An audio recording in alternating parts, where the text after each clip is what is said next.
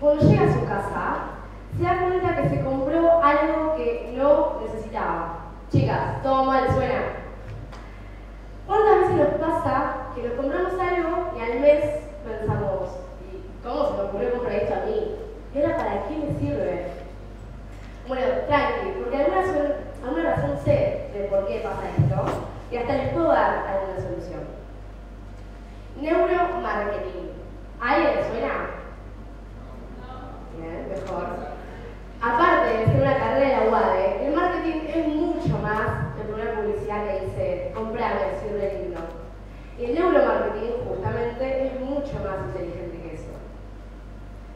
Tenemos dos tipos de sistema de pensamiento del cerebro a la hora de comprar.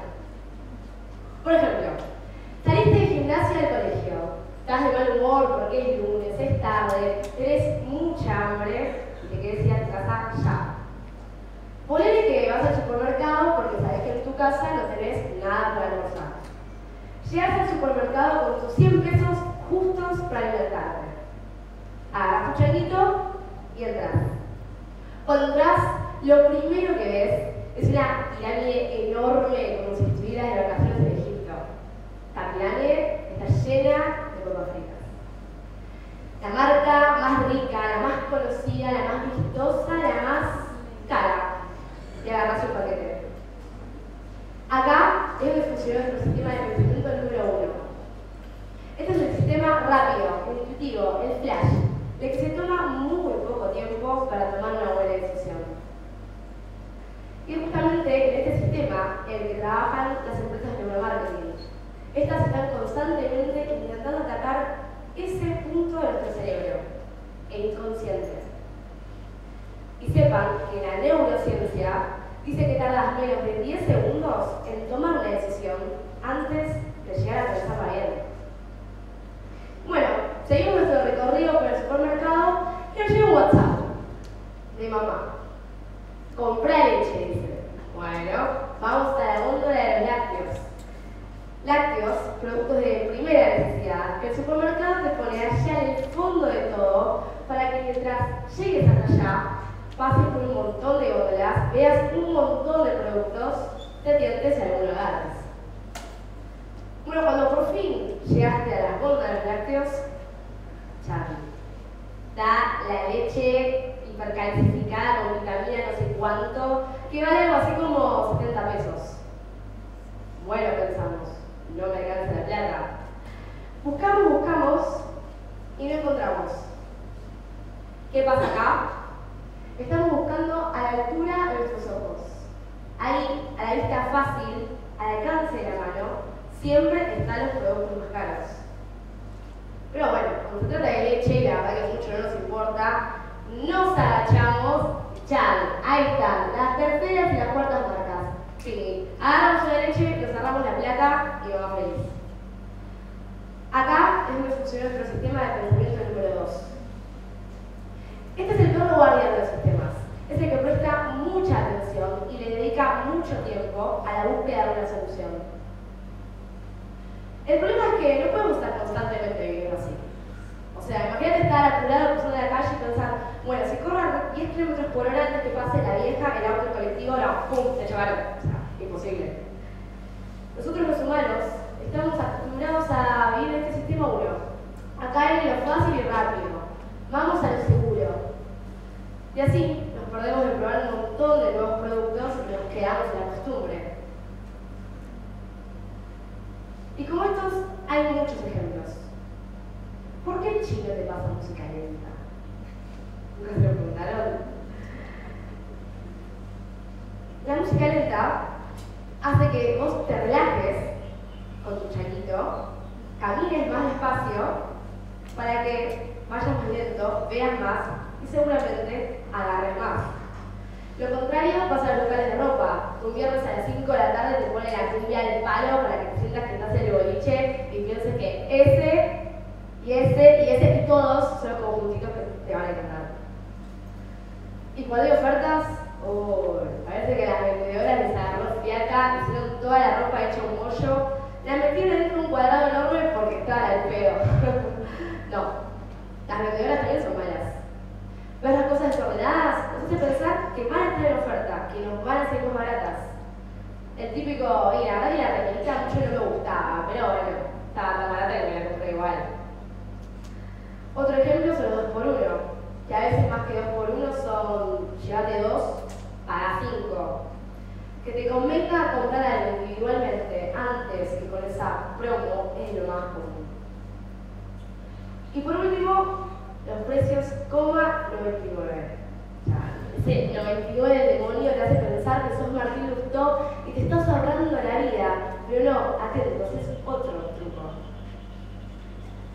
Pero como conclusión, las que toman nuestras decisiones al momento de comprar no somos nosotros, pero tampoco son las marcas, sino que son nuestras emociones. Y es justamente ahí donde trabaja el neuromarketing. Este analiza los niveles de emoción, atención y memoria según los estímulos que recibimos de forma consciente o inconsciente. Estos estímulos pueden ser lo que vemos, lo que escuchamos, lo que sentimos. Ya, qué interesante, ¿no? Ahora están empezando, ¿qué para de charla Me cambió la vida. La pregunta de verdad es, ¿qué corno hace una marca con todos estos datos? Bueno, prácticamente nos cambia la vida. Nos incita a seguir una moda, a fanatizarnos con algo y a enojarnos y frustrarnos por no tenerlo. Así como nosotros soñamos un día lluevan pisetas de Lizzie del cielo, una marca sueña con que su producto se ponga de moda. Creo que nunca vio en un recreo primaria a todas las nenas usando el mismo álbum de figuritas, a todos los nenes jugando con el mismo juguete. Nunca hicieron algo solamente porque todos lo tenían.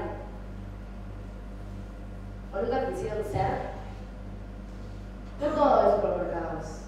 A veces a la hora de vender, la mejor publicidad pueden ser las personas que vos seguís en tus redes sociales. Si no, ¿por qué nos matamos a seguir a las modelos de Victoria's Secret y cada vez que vemos una foto de sus abdominales, nos miramos en el espejo y decimos, no, no, tengo que hacer que ya, ya, voy, me pago la cuota del gimnasio, entreno todos los días, cuatro horas, listo, para el verano estoy divina. Faltan dos meses para el verano. Estuviste todo el invierno tirada mirando Sin hablar que preferís salir con el pepo antes que salir a correr. chao, ahí una simple foto hizo que nos sentamos mal con nosotros mismos. Como si todo se basara en quién tiene la pancita más chata o las piernas más lindas. Eso me gusta en Twitter, preguntando cuál es tu reacción cuando ves un cuerpo musculoso, delgado, o una típica cara linda por Instagram. Y de los 72 votos, la respuesta fue pero era para la charla de De las 32 personas, el 60% votó que quisiera ser esa persona de la foto. O sea, el 60% votó que cambiaría de imagen solo por haber visto una foto. Y la verdad que esta no es nuestra culpa, porque medio que las marcas de ropa, la publicidad, la televisión, la vida, pensar que tenemos que estar siempre perfectos. Estar, no ser. Porque de personalidad poco se habla en los medios. Y claro, esto no es casualidad porque un buen vestido, maquillaje, un auto, unas buenas zapas, un celular, todo eso se puede comprar. En cuanto ideas, por ahora no. Entiendan que esto es un negocio y que si los estereotipos no existieran, muchas marcas no venderían sus productos, por lo que tampoco existirían. Porque cada uno vería por sí mismo qué es lo que quiere, cuándo lo quiere y cómo lo quiere, sin estar influenciado por una pantalla. Pero bueno, ahora salen acá odiando los supermercados y vayan a autoabastecerse con una huerta en su casa. O sea, si quieren la huerta, sí, recopada, pero no es la solución. Que la solución está en estar más los, las manipulaciones que recibimos. A no dejar mirar siempre por este sistema único, lo fácil y rápido cuando tenemos otras alternativas. Y principalmente, a no pensar que nuestra vida sería mejor con algo material o con un cuerpo más lindo. Así que dejen de perder el tiempo criticándose a sí mismos, buscando ser más por tener más. Millón de likes tiene problemas. Que aprovechemos. Todos los días es una oportunidad diferente para actuar diferente, ser diferente y disfrutar con lo que somos.